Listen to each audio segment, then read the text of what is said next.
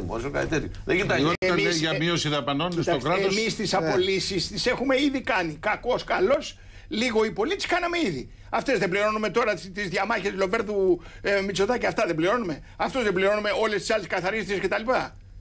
Λοιπόν, άρα δεν μπορεί να σταθούν εκεί. ε, θεωρείτε ότι έχει εξαντληθεί η Εγώ υποχρέωσή νομίζω μας; ναι, σε, σε αυτή τη φάση που μας ζήτησαν τελείωσε. Τι λέτε κύριε Σκουλάτη. Κοιτάξτε, Τελείωσε. ο κύριος Νεράτη ήταν αποκαλυπτικός.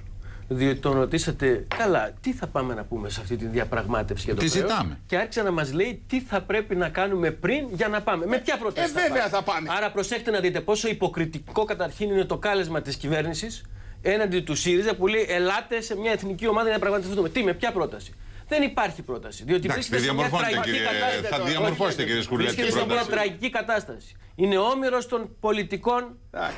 Που τήρησε μέχρι τώρα δεν έχουν αμφισβητήσει Το πάτε τα λοιπόν. μνημονιακά προαπαιτούμενα. Κύριε Σκουλέτη, η την λογική μνημονιακή- λέει ότι θα τη Παρακαλώ, διαμορφώσετε την παρακαλώ, πρόταση. Δεν θα σας πει από παρακαλώ, τώρα τι παρακαλώ. Των προτέρων δεν Δεν θα θα ερχόσαστε. μπορούσαμε να διαμορφώσουμε τίποτα με αυτούς που ευθύνονται για τη σημερινή Δεν κατάσταση θα της χώρας. ερχόσασταν στη Δεν θα διαπραγμάτευση μπορούσαμε εάν να εμείς διαπραγματευτούμε μαζί με αυτούς οι οποίοι είναι πολιτικά αναξιόπιστοι και στο εσωτερικό και στο εξωτερικό. Εσείς τι είσαστε με αυτοί που αξιόπιστοι; έχουν πιστέψει σε αυτή την ακραία πολιτική λιτότητας. Που γίνανε μπρος- στο φυλακή Είχατε άλλη για να επιλογή, ισοπεδωθεί κύριε η Σκουλέτη. κοινωνία. Την ταμπακέρα Για να είχατε διαλυθούν άλλη τα επιλογή. πάντα. Κύριε Σκουλέτη. Το κάνουν απλά και μόνο, το κάνουν απλά και μόνο για να διαχύσουν τις ευθύνες. Πάντως υπάρχει Το κάνουν μια- απλά και μόνο για να Υπάρχει καμουφλαριστούν. μια, υπάρχει μια Αλλά δια- επαναλαμβάνω Ναι. ότι πρόκειται για μια Ωραία. κατάσταση η οποία αναδεικνύει το πλήρες αδιέξοδο της Υπάρχει μια διαμόρφωση, Και βεβαίως- αν και δεν είναι επίσημες θέσεις, μια διαμόρφωση δύο τρόπων σκέψης απέναντι στο, θε- στο θέμα του χρέους.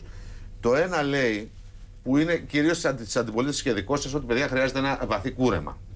Να- Να κόψουμε ένα κομμάτι μεγάλο. Υπάρχει ένα άλλο που λέει, παιδιά, να πάμε σε μια επιμήκυνση του χρόνου, να πάμε σε μια μείωση του επιτοκίου, διότι αυτός είναι ο μόνος τρόπος να μην περάσει μεθα- μέσα από τα ευρωπαϊκά κοινοβούλια, όπου εκεί θα είμαστε έρμεα του κάθε λαϊκιστή Ευρωπαίου που θα λέει Όχι στου Έλληνες, δεν πληρώνουν άλλα κτλ. κτλ.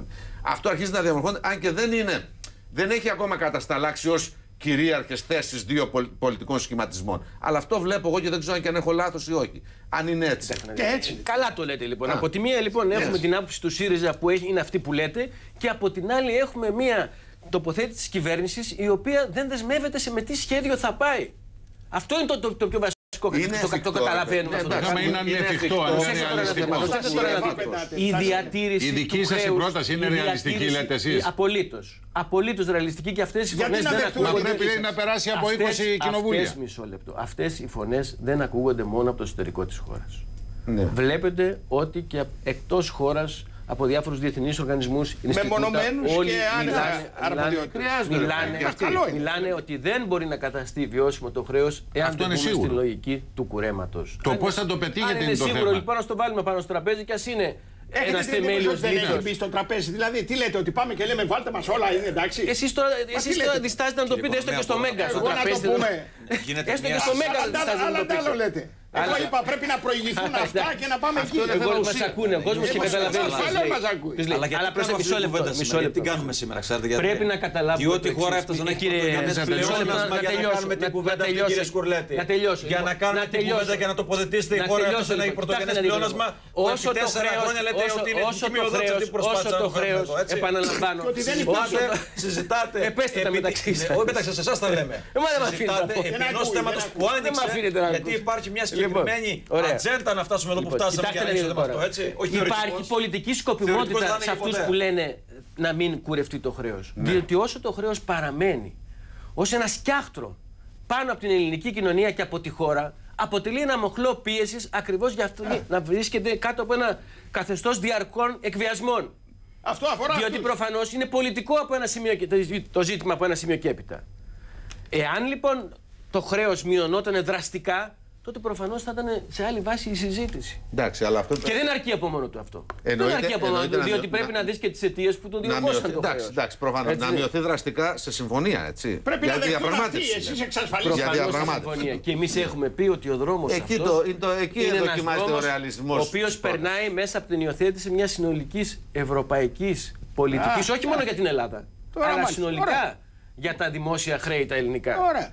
Ναι, έναν Όμως κύριε διαφορετικό Σκουρλέτη, ρόλος αυτό της το Κεντρικής πράγμα μπορεί να Ευρωπαϊκής γίνει σε 10 Τράπεζας. χρόνια. Αυτό ακριβώς, Συνολική αυτό λέμε, το ευρωπαϊκή ίδιο λέει. πολιτική. Θα, Τώρα θα, είναι, το θα είναι λέμε. πολύ αργά. Εάν γίνει σε 10 χρόνια, επιτρέψτε μου, αλλά δεν θα υπάρχει Ευρώπη για να το συζητήσουμε. Μπορούμε να το κάνουμε μονομερός δεν θα, υπάρχει, δεν θα υπάρχει Ευρώπη σε 10 αυτό χρόνια. Θέλω να πω, αν δεν προχωρήσει Διότι αυτή η επανα- ευρωπαϊκή διότι πολιτική, πρέπει να εμεί καταλάβουμε μπορούμε, κάτι. αν εσείς είσαστε στην κυβέρνηση, θα το κάνετε μονομερός, δεν μπορείτε. Μονομερός θα το κάνουμε. Μπορούμε να Θα συνειδητοποιήσουμε το σκίσουμε. ότι ο τρόπος με τον οποίο η Ευρώπη θα απαντήσει στο ελληνικό εντός εισαγωγικών πρόβλημα ουσιαστικά είναι ο τρόπος που βλέπει το μέλλον της.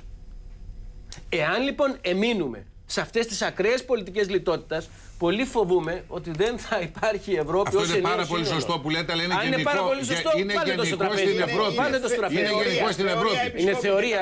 Όχι, δεν είναι θεωρία. Είναι γενικό. Είναι απαραίτητο, αλλά γενικό για την Πώς Ευρώπη. θα εξασφαλίσετε ότι θα προσχωρήσουν σε αυτή Μα την για να, το πολύ δεχτούν, ορθή άποψη. για να το δεχτούν κάποιος πρέπει να το θέσει. Ενώ δεν όταν είναι είσαι τέτοιο. yes Ενώ- men, ενώ δεν είναι τέτοιο. όταν κάθε φορά βγαίνει ο Σαμαράς και λέει Εμείς θα είμαστε συνεπείς ως προ τι υποχρεώσει μας, δεν αμφισβητούμε ούτε κατελάχιστο αυτή την πολιτική, ε, τότε δεν κάνεις διαπραγμάτευση. Κύριε Ανδρουλάκη, τι λέτε; Αυτή είναι δήλωση υποταγής, Καταρχάς, δεν είναι διαπραγμάτευση. Πρώτον, αυτή η yes men που είπε